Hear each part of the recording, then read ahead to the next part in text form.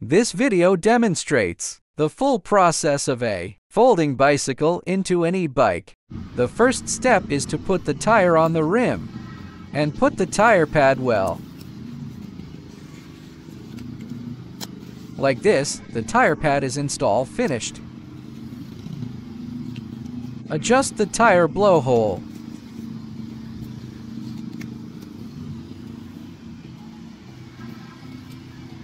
Check if it's properly installed.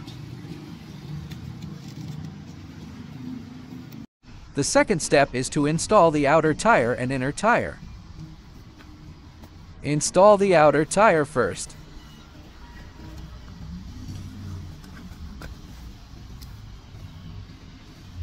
Then install the inner tube.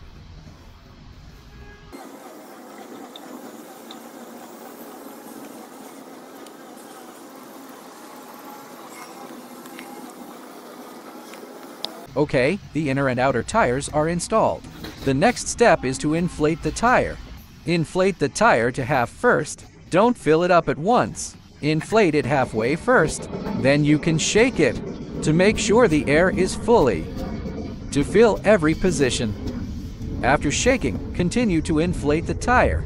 The second time, pump it up to the full. Fill it up completely. After fully inflating the tire, check the safety line. If the tire line is outside, if all of them are on the outside, it's okay. If the tire line gets stuck in it, are outside, release a little air, then shake it, and then inflate it again. Adjust it well. Then install the motor on the bike. Remove the front wheel first. Then install the motor. When installing the motor, if the bike is upside down, and this is the front of the bike, the motor wire is on the right.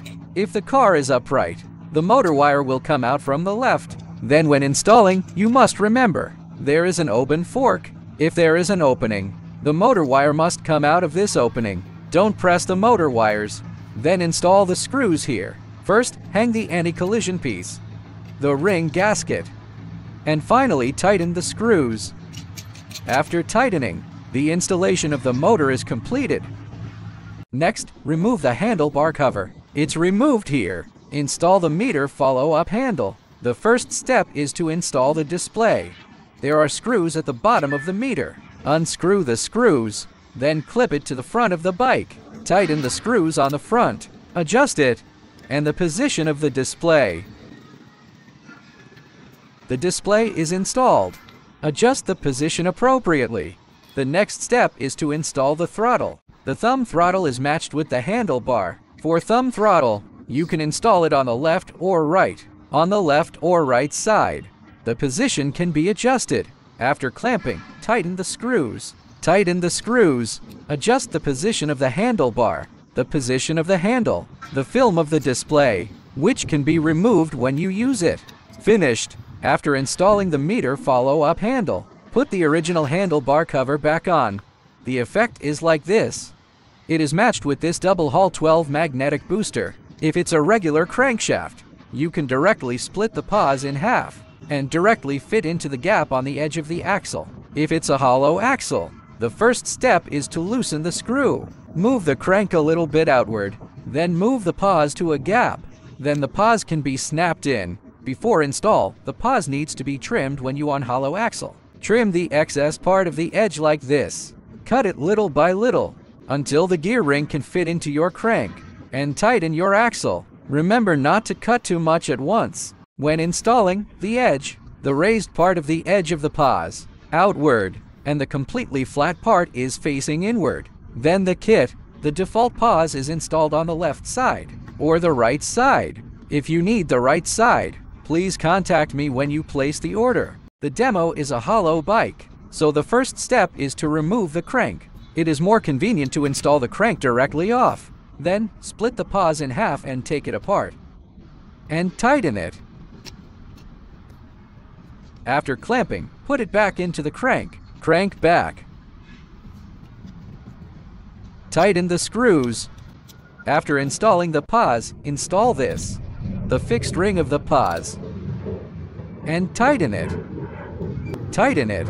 The next step is to install the sensor. When installing the sensor, both positions can be installed. The distance between the sensor and the disc, this gap is about 5 millimeters. Be sure to adjust it properly during installation. If it's more than 5 millimeters or less than 5 millimeters, it will affect the sensor's sensing. Then, pay attention. First, if after installation, if the distance between the sensor and the disc is too far, you can use a sponge pad. A sponge pad with adhesive paper thickens it. Or inside. Or inside. Then, when installing it, you must pay attention to the sensor. There is a cross here. The cross-shaped logo here. It should correspond to the magnet one by one and vertically so that it can sense the certain position. When you put it, you must put it well. For the sensor, first put two zip ties through it. After wearing it, fix it on the bike. First, choose a general location, and then adjust it after fixing it roughly. Adjust it. Tighten it. The sensor. There is a screw here that can be loosened and tightened. It's used to adjust the distance between the sensor and disc after adjusting the distance, tighten the screw. The distance between the sensor and the magnet is about 5 millimeters. The cross should be facing the magnet parallel. This is a pig nose bag. Can be matched with our 36V10Ah battery. It has two colors. One is bright striped, and the other is matte black. Let me show you. Here is the pig nose, a buckle for the pig nose hanging bag. It has a waterproof zipper, upgraded waterproof zipper. Inside the box, it comes with a strap. The strap is on the side of the box. There are two hooks here. It can be used as a shoulder bag. The inside of the box is divided into two parts. This part is for the battery, and this part is for the controller. Install the pig nose bag battery on the bike. Fix it. Next, Place the battery and controller inside the box. Place the battery and controller, connect the plug, then the wire comes out from this place. Okay, pull it up. Hide all the waterproof plugs inside the box. It will be better for waterproofing. Zip it all the way in here, then the waterproof line comes out from the bottom to achieve a better waterproof effect. Next, connect the motor cable. When connecting the motor cable, remember that there are two arrows on the plug. The arrows should be aligned. One of the arrows has a wire on it. You need to press it a little bit. Connect it to the line near the line. If you connect it, if the display shows error code 03, check if the motor wire is not connected properly. Then connect the 1T2 extension cable. The green one is for the display. Also need to align the arrows. The yellow one is connected to. The same is true for turning throttle, arrow to arrow. The throttle is connected to 1T2 cable. The booster is connected to the controller. The yellow one appears directly. Then the whole thing is connected. The pause has been connected just now. After the bike is modified, to make it more stable when pushing, we can replace the easy wheel with larger size. It will be more stable when pushing like the original Easy wheels, are quite small. We can replace it with our one 100 millimeters large size Easy wheel, which is very stable when pushing, and smoothly remove the original Easy wheel, big Easy wheel, and put in the washer. Put a washer on each side. Put the screw on. Tighten it. Fix one side first, and then on this side, add another gasket. Add the gasket Tighten the screws. After the telescopic rod is installed, then install the 100 millimeters easy wheel. Compare them. This is the 60 millimeters of the original bike. This is our large size 100 millimeters. After installation, fix the screws. It's installed. Screw tightened.